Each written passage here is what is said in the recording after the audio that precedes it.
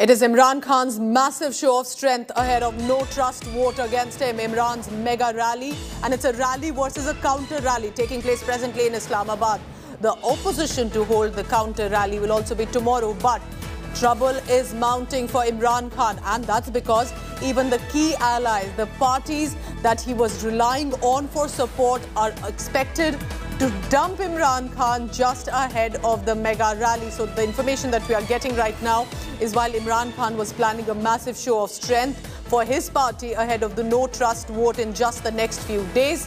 The rally was his counter rally emerging in Islamabad and it is PPP. Bilawal Bhutto Zardari expected also to have the allies on his side and perhaps that could be trouble more for Imran Khan.